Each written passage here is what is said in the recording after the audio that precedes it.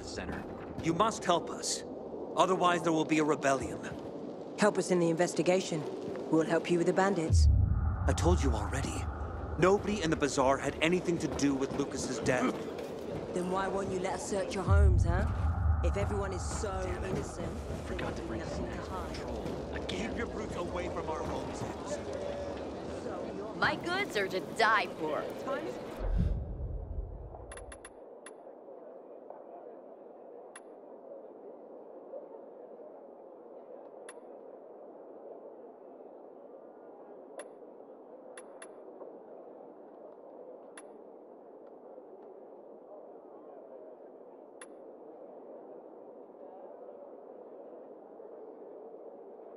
On an outcast.